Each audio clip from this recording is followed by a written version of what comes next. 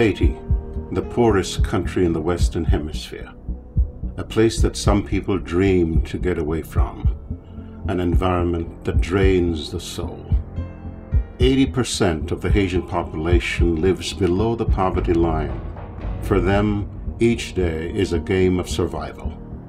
How can we bring light to a place of hopelessness? Imagine waking up next week in Port au Prince, the largest city and capital of Haiti. To feed your family, you will need to gather what little money you have and travel north on National Highway 1. Most people travel in ornate, overloaded buses known as tap taps. The ride is hot, cramped, and bumpy. The roads in Haiti are decaying. Heavy rain runs wild, unbridled because of deforestation, carving deep, varied ruts, making travel painfully slow. As you wind up and out of the city, you get a clear view of the rough, stacked blockhouses filling every available space. For safety, many of the homes and offices are fortified with tall walls and coils of barbed wire. The condition of the country in general makes the people develop a kind of phobia, fear. Fear to be kidnapped, fear to be killed, fear to be robbed. You, like many others, are traveling to buy charcoal made from the few remaining trees growing on the island. Haitians use charcoal for cooking, and after returning to the city with your small supply, the afternoon will be spent trying to sell these small charred scraps of wood to your neighbors. Haiti shares the Latin American island known as Hispaniola with the Dominican Republic.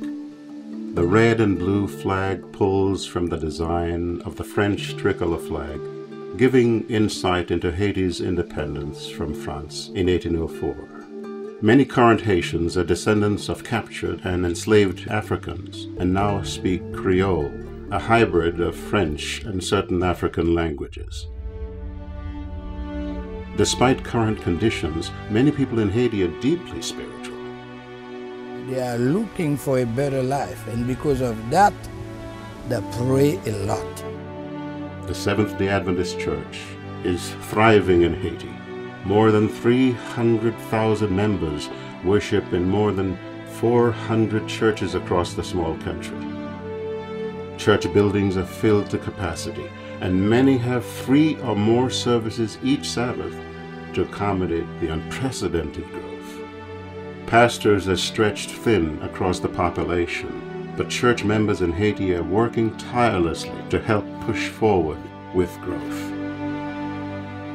Veronique is one of many church members who preach at evangelistic campaigns in Haiti every night, four months out of the year.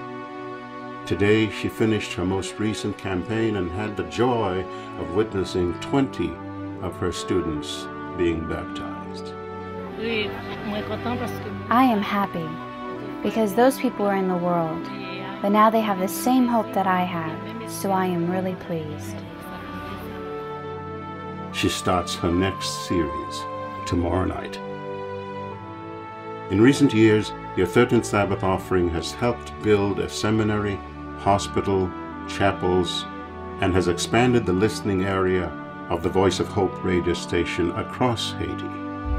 Thank you for your faithful support of the 13th Sabbath offerings. Please continue to keep the people of Haiti in your prayers.